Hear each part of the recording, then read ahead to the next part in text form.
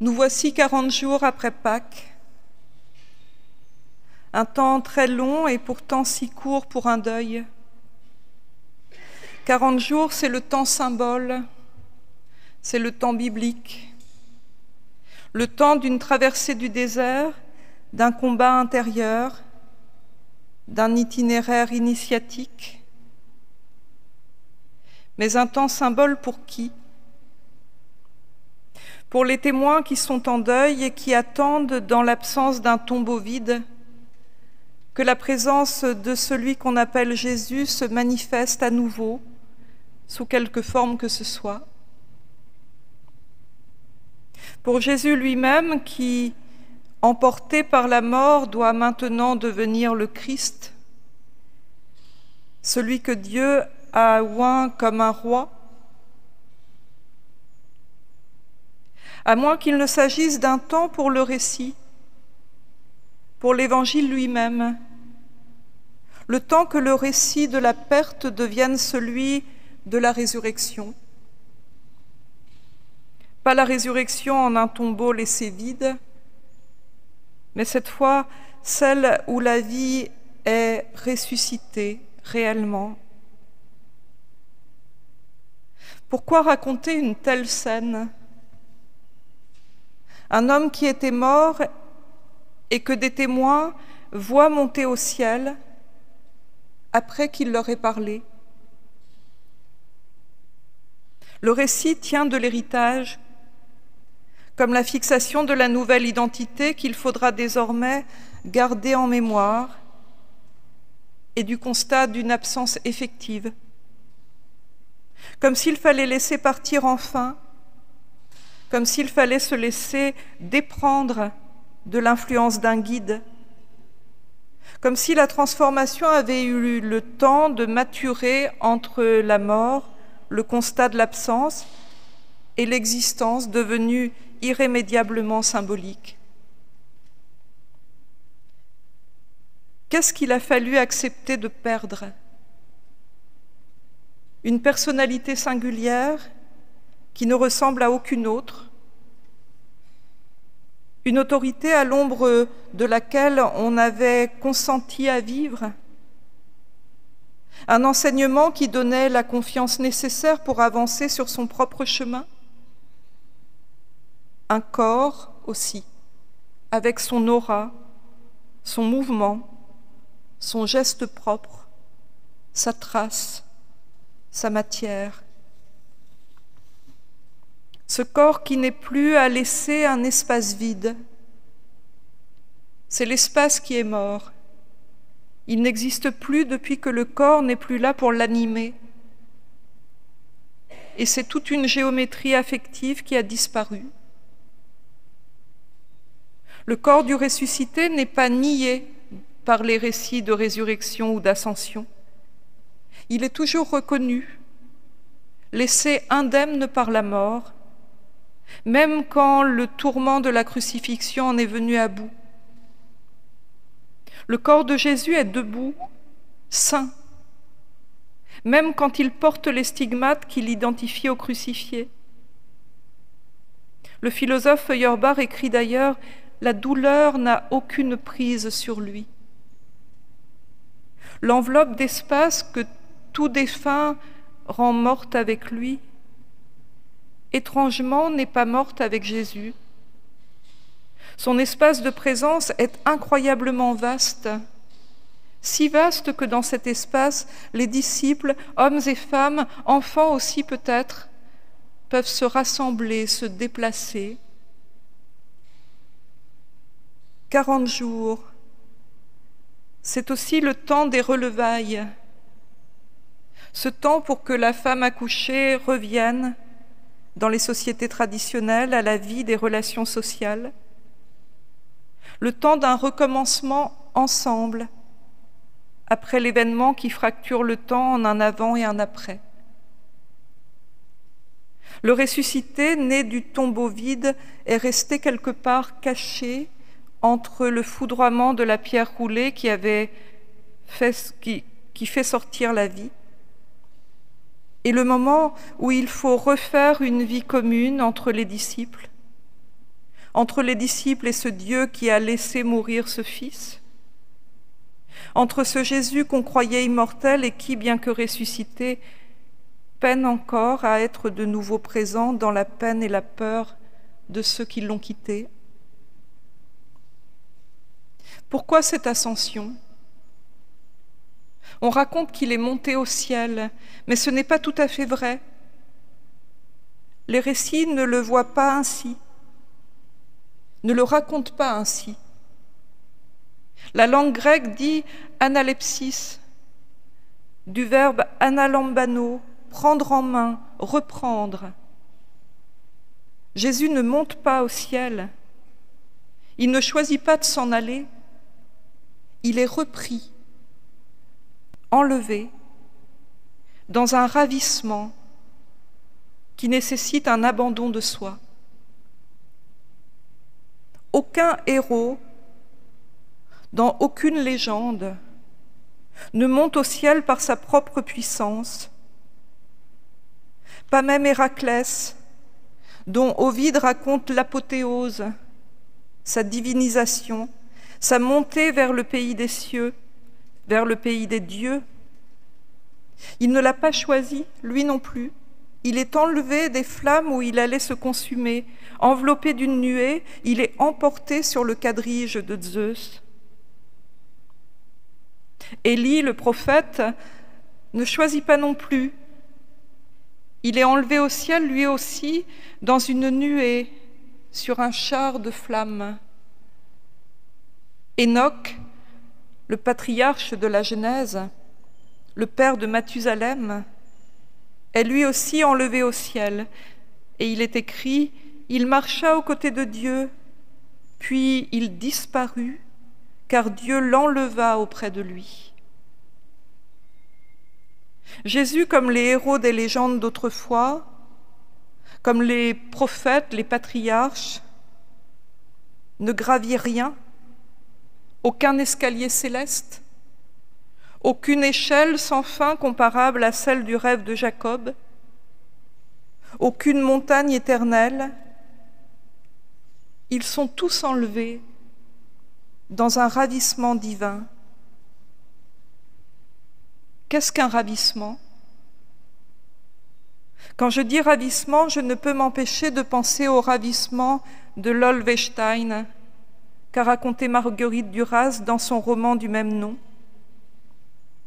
Dans ce roman d'amour et de désamour, on ne sait qui est ravi par l'autre, et on ne sait pas non plus de quel ravissement il est question.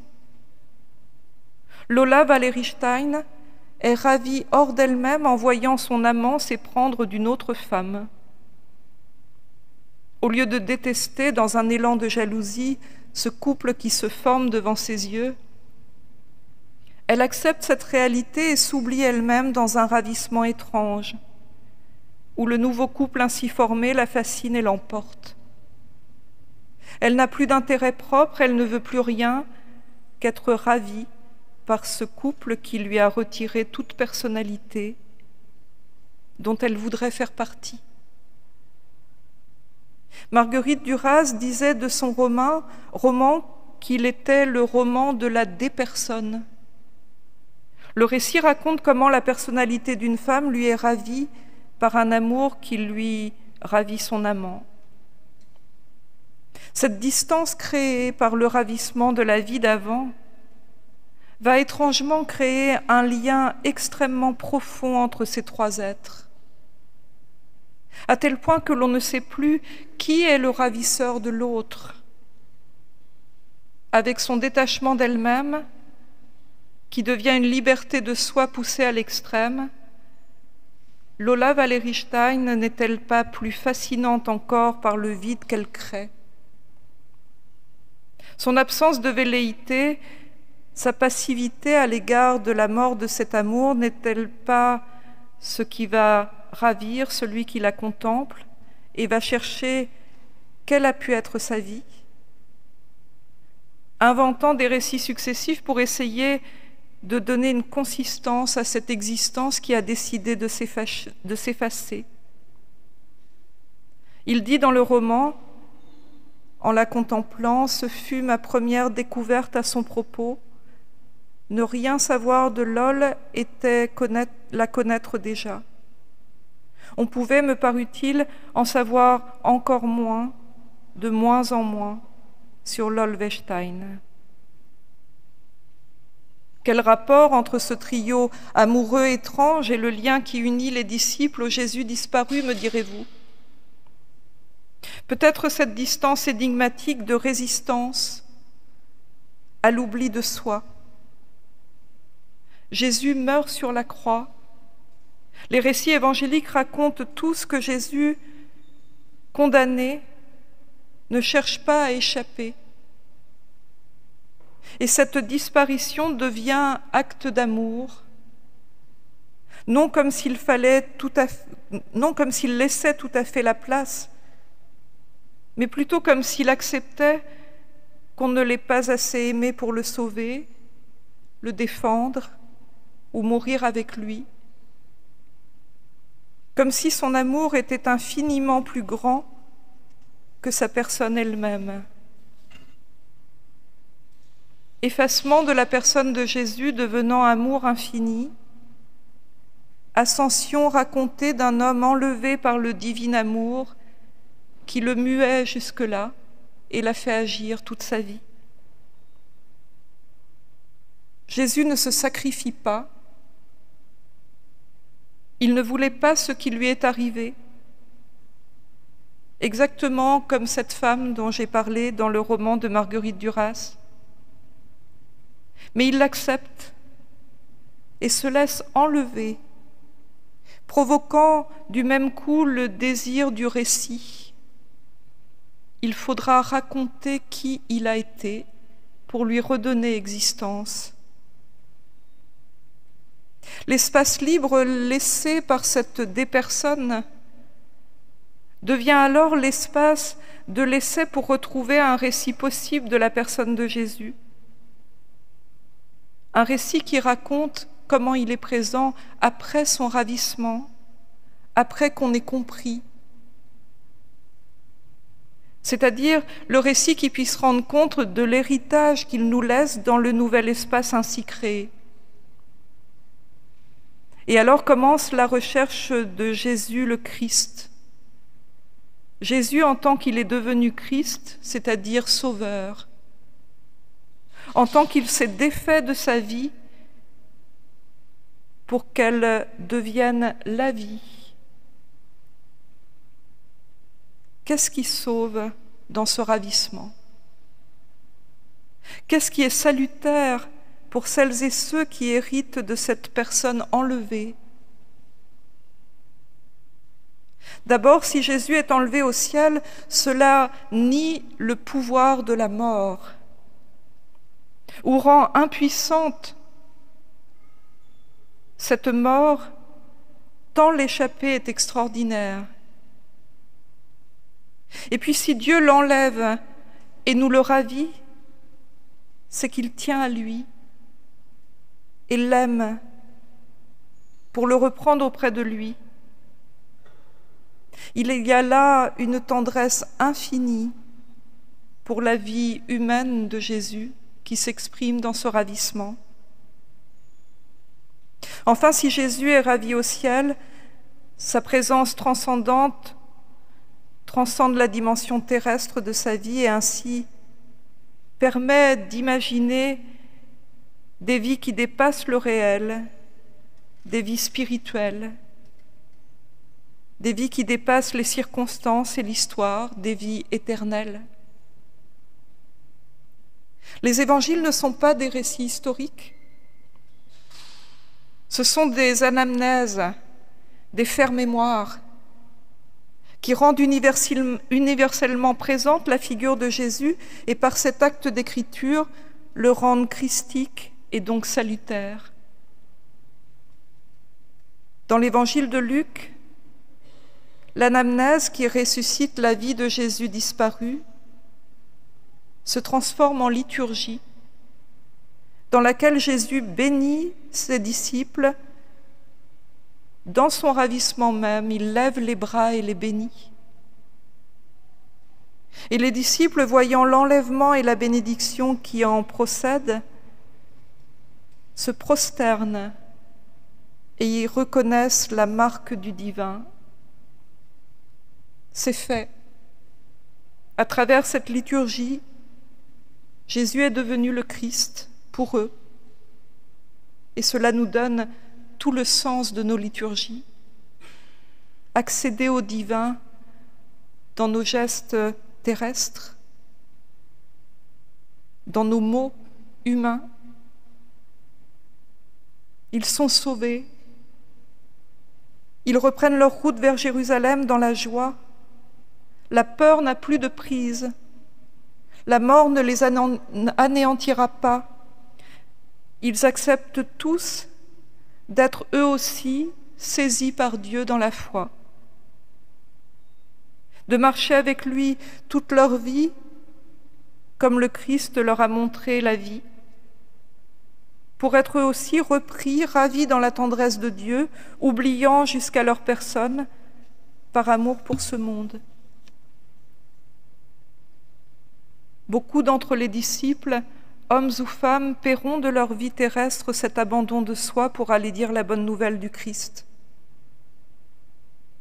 La vie leur sera ôtée par leurs persécuteurs, mais dans leur cœur, la certitude d'avoir reçu une bénédiction lors du ravissement de leur frère Jésus permettra à toutes et tous d'accepter de se déprendre de cette vie pour accomplir leur éternité. N'est-ce pas ce récit, façonné dans la matière même de leur foi, qui leur permet de recevoir cet héritage trop grand pour eux, de le faire sien, de le faire à leur mesure L'ascension est l'histoire de la sublimation d'un deuil une histoire de mort et de supplice insoutenable devenue l'histoire d'un amour infini. Loin des naïvetés qui visent à laisser croire à une montée au ciel pour regagner sa divine place, comme si Jésus se laissait placer quelque part. Jésus nous inspire la voie de la transformation de nos propres deuils et de nos propres vies un mouvement qui nous fait entrer dans l'éternité. Il n'est pas simple d'accepter de nous laisser ravir les êtres aimés auprès d'un plus grand que nous. Toutefois, l'Évangile ne nous propose pas de les oublier, de les lâcher sans penser à eux, sans qu'ils aient existence pour nous mais simplement de les déprendre pour pouvoir euh, retrouver d'eux cette part d'éternité qu'ils nous laissent. Amen.